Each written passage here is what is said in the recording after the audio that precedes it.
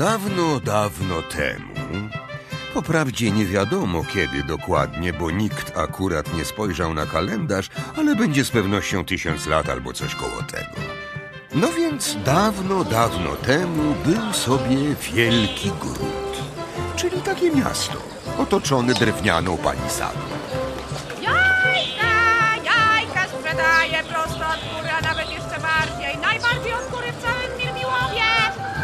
Pana, lecz pan tu nie stał. Jajka, jajka. Ryba, świeża ryba. Sam złowiłem wczoraj, ale po południu. Ależ mówię panu stanowczo, pan tu nie stał, gdyż ja tu stałem, a pan nie. A co takie małe te jajka? Przepraszam pana, nie wie pan kiedy gra FC Mirmiłowa, bo jakoś wypadłem z kalendarza. Podkówki! Każdy koń chce chodzić w podkówkach od Mieszka. Zapytajcie konia, potwierdzi na pewno. Podkówki, podkówki!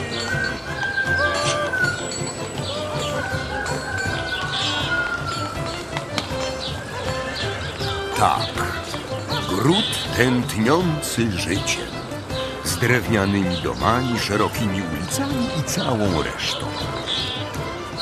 Proszę pana, czy wóz do rzeźnika odjechał? Bo się spóźnia według rozkładu. Ależ nie, nie, nie, nie. Stąd pan nie odjedziesz. Przystanek przeniesiono, gdyż są roboty na trasie. A nowy jeździ gdzie? No tak, widzisz pan, naprzeciwko rzeki. No więc miasto. Widzicie je? Wyobrażacie je sobie? No, zapomnijcie.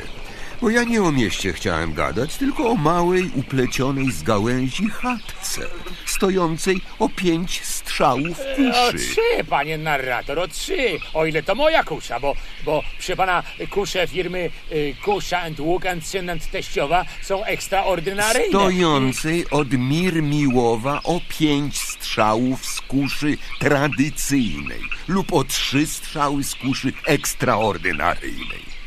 Stronę jak się jedzie na Ostrołękę, rzecz jasna. Lokalizację chatka owa miała wspaniałą.